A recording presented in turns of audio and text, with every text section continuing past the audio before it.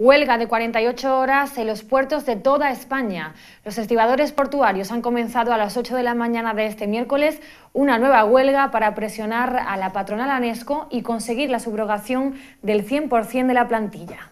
En este caso, el paro será durante 48 horas, a diferencia de las tres jornadas de huelga de la semana pasada, que fueron de 24 horas y solo durante las horas impares.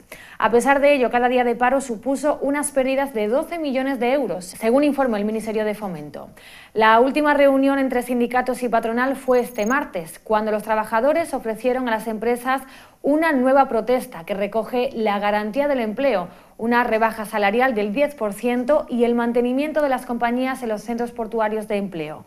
Sin embargo, no consiguieron un acuerdo con la patronal que remitió la decisión a la Asamblea General de ANESCO de este viernes.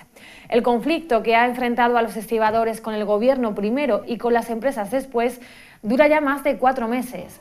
Comenzó en febrero con la reforma que acabó por liberalizar el sector y con la falta de libertad de establecimiento de las empresas y de contratación de estibadores portuarios. Las tres jornadas previas de huelga han transcurrido con normalidad y sin alterar excesivamente la actividad de los puertos del Estado. En cambio, se prevé que el paro que ha arrancado este miércoles sí tenga peores consecuencias.